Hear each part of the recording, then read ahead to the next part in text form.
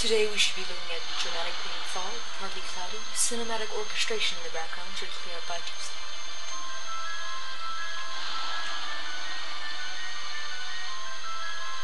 And she still looks great.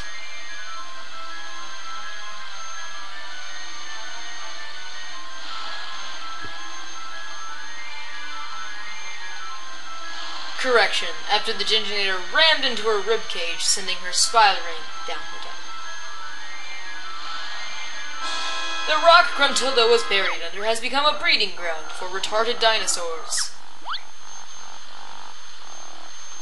Bruce Banner slimmed down for his Oscar-worthy role as Klungo.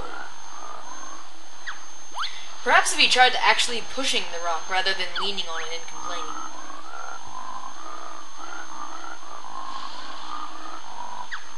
All the bear did was throw some eggs at her. He didn't rupture her internal organs and push her up a tower.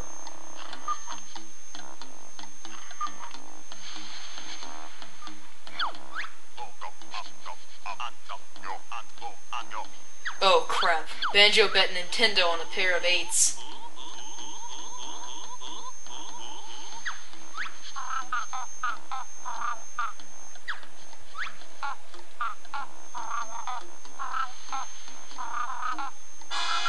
that's just disgusting, Kazooie.